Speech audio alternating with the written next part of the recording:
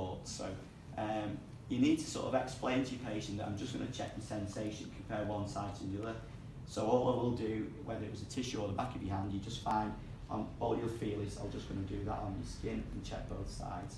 I want you to keep your eyes closed and if you feel anything different, one side to the other, just let me know. Okay. Um, now, as I say, there is a dermatome map for the lower limb and there is one for the upper limb. And you don't have to follow that, but you need to have an, an awareness of that map. So that's something you just need to go away and, and, and have a look at. Generally, again, you will see this demonstrated differently. Um, I was always, well, I wasn't always taught, but progressively taught to look at doing the dermatomes circumferentially. So i.e. you go round like so.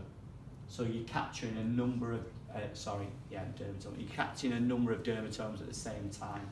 So rather than just mapping them all out, you, by going round, you, you, you're basically picking up more than one dermatome.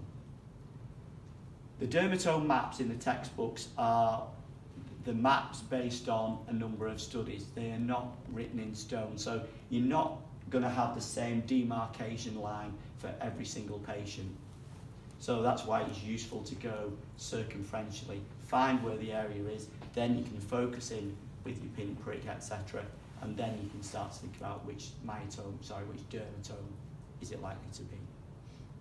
Does that make sense to everybody? Mm -hmm. Yeah? Okay. So again, just close your eyes for me, and then you're going to go around, so circumferentially, you okay there? Yeah. Still feel the same? And obviously, we're presuming he's, he's healthy here, he's not reported any problems. So you're going to go all the way around, all the way down. Light so. The issue with using the backs of your hands is sometimes you can press a little bit more firmly on one side than the other. Okay, so um, that's where a tissue can be, can be quite useful. But if you're doing it gently enough, then it should be, it should be good enough in most cases.